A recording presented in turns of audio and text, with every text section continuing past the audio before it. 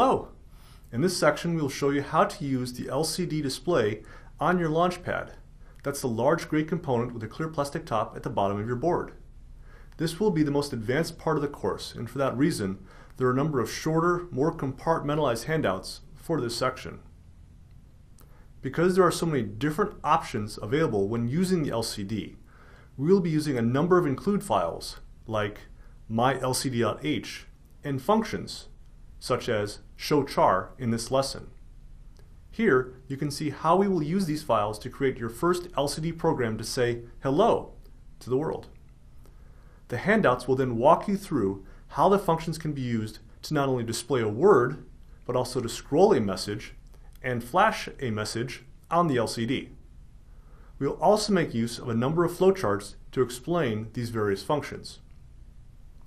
As you're working your way through this section, please be patient with yourself. The LCD is by far the most complicated component that the Launchpad uses, and it will take some practice to master. However, from personal experience, we can tell you that there is a great deal of satisfaction in displaying messages that you create. Please, do not be bashful in asking for help or clarification.